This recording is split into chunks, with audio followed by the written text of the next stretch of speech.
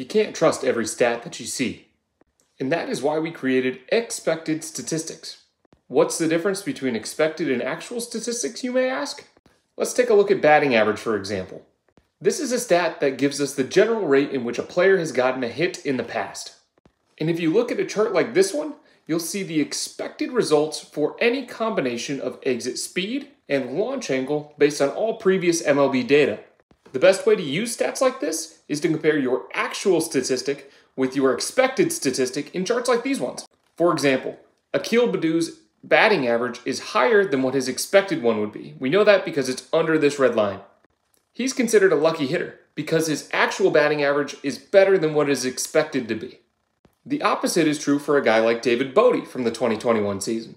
So now, anytime you see a stat with an X in front of it, you'll know you're looking at an expected statistic. You like this video, you'd love the channel, so make sure you like, share, and subscribe.